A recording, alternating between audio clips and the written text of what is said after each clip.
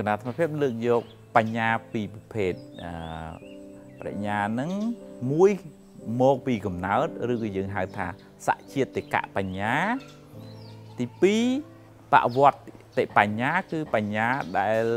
កើតពីការប្រឹងប្រែងរៀនសូត្របន្ថែមអ្នកខ្លះមានសម្ពាយបនពីកំណើតមកគឺថារៀនឆាប់ចេះឆាប់ចាំឆាប់យល់ឆ្លាតវៀងវៃមិនសូវពិបាក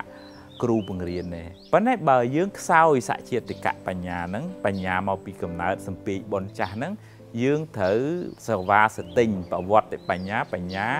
ដែលត្រូវនឹងសមក្នុងពេលបច្ចុប្បន្នហ្នឹងហេតុដែលនាំឲ្យចម្រើនបញ្ញាក្នុងពេលបច្ចុប្បន្នមាន4ទី1ត្រូវសែបគប់អ្នករៀនអ្នកសូត្រអ្នកចេះអ្នកដឹងអ្នកបកាយជាងយើងទី2មិនមែនគ្រាន់តែសែបគប់ទេត្រូវស្ដាប់ផងហើយមិនមែនស្ដាប់ហ្នឹង ស្ដាប់ទីតិចឆ្វេងចេញតិចស្ដាំទេត្រូវយកមកពិចារណាផងទី3ហើយទី4គឺយកមកពិចារណាហើយយល់ចូលចិត្តហើយតលយកមកអនុវត្តទើបបញ្ញាហ្នឹងវាចម្រើនវាឧបមាដូចជាយើងថារៀនសូត្រនិយាយពីកសិកម្ម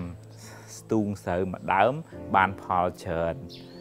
ហើយយើងគ្រាន់តែចេះអត់យកមកអនុវត្តក៏វាអត់បានចម្រើនដែរ បើគោរពតាមគោលការណ៍ហ្នឹងយើងសំពូជបញ្ញាតទៅមុខទៀតរៀនសូត្រឆ្លាតវៀងវៃបើមានកូនមកក៏កូនឆ្លាតតាមយើងចឹងដែរអរគុណច្រើន